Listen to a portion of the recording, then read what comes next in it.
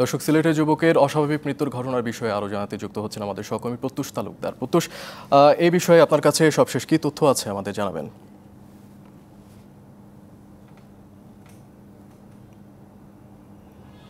যেমনটি বলছিলেন এর আগে গতকাল সন্ধ্যায় যে খবরটি আসে যে এই ঘটনায় দায়িত্বে অবহেলার জন্য বন্দরবাজার ফাঁড়ির চার পুলিশ সদস্যকে বরখাস্ত এবং তিনজনকে প্রত্যাহার করা হয়েছে। এটি কিন্তু সেই তদন্ত কমিটির রিপোর্ট অনুযায়ী। তাদের পরবর্তী কার্যক্রম আসলে আর কিছু জানা যায়নি।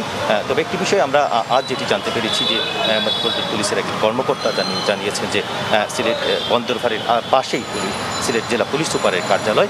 সেখানকার একটি সিসিটিভি ক্যামেরায় কিন্তু আসলে তাদের রাত তিনটা দশের দিকে তাদের ফাঁড়ির ভিতরে প্রবেশ করতে দেখা যায়। সেটি তারা পেয়েছেন এবং তার পাশাপাশি বিভিন্ন যে বিষয়টি বলা হয়েছিল যে কাষ্টকর এলাকায় গণপিটুনিতে হত্যা করা হয়েছে, অর্থাৎ কাষ্টগর এলাকার আশেপাশের মানুষের সাথে তারা কথা বলছে বলে আসলে সেই বিষয়ে রায়- রায়হানকে যে জীবিত তাকে ফাঁড়িতে প্রবেশ করানো হয়েছে বা জীবিত যে ফাঁড়িতে গেছে, সেই বিষয়টি কিন্তু তারা বিভিন্ন গণমাধ্যমে বলেছেন মেট্রোপলিটন পুলিশের কর্মকর্তারা। এদিকে আমরা আজও কথা বলেছি যারা রয়েছেন, তার রায়হানের অভিভাবক যারা রয়েছেন, তার মা এবং তার স্বজনদের সাথে তারা বলছেন যে আসলে বিভাগীয় শাস্তি দেওয়া হয়েছে, সামগ্রিক প্রত্যাহার করা হয়েছে, বরখাস্ত করা হয়েছে, কিন্তু তার পাশাপাশি তারা চান দ্রুততম সময় তাদেরকে গ্রেফতার করা হোক এবং তাদেরকে আইনি প্রক্রিয়ার মাধ্যমে রিমান্ডে এনে আসলে তাদেরকে বিচারের কাঠগড়ায় আহ, দাঁড় করানো হোক। এদিকে কিন্তু সিলেট নগরীতে বিভিন্ন স্থানেই আসলে এই ঘটনার প্রতিবাদে বিভিন্ন কর্মসূচি পালন হয়েছে। আমরা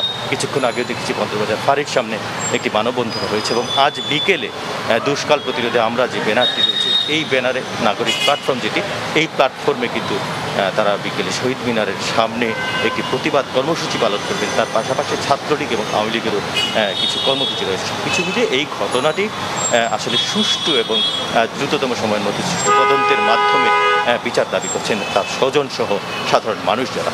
এই ছিল সিলেটের সর্বশেষ পরিস্থিতি। জি, প্রত্যুষ, অবশ্যই পরবর্তীতে কোনো কর্মসূচি হলে আবারও আপনার সঙ্গে যুক্ত হব। এদিকে সিলেটের রায়হানের রহস্যজনক মৃত্যুর ঘটনায় বিচার বিভাগীয় তদন্ত চেয়ে রিট হয়েছে। মঙ্গলবার বিচারপতি মোহাম্মদ মুজিবুর রহমান মিয়া ও বিচারপতি মহিউদ্দিন শামীমের হাইকোর্ট বেঞ্চে উত্থাপন করা হলে শুনানির জন্য বুধবার দিন ঠিক করা হয়েছে। সুপ্রিম কোর্টের আইনজীবী সৈয়দ ফজলে ইলাহি হাইকোর্টের সংশ্লিষ্ট শাখায় রিটটি করেন। রিটে ঘটনার বিচার বিভাগীয় তদন্ত চাওয়া হয়েছে। গত এগারোই অক্টোবর সিলেট নগরের কাষ্টঘর থেকে আহত অবস্থায় উদ্ধার করা এক যুবকের ওসমানী হাসপাতালে মৃত্যু হয়। আহত অবস্থায় রায়হানকে উদ্ধার করে হাসপাতালে নেওয়ার পর তার মৃত্যু হয়েছে বলে দাবি পুলিশের।